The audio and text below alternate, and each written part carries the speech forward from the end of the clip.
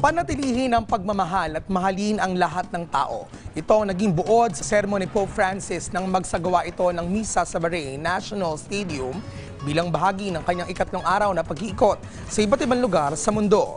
Ipinaalala rin ng Papa ang salita ni Prophet Isaiah na buhay ang Diyos at magpapatuloy ang kanyang kapangyarihan at magkakaroon ng walang katapusang kapayapaan. Nakiusap din si Pope Francis na tratuhing mabuti ang mga lahat ng migrant workers sa Bahrain.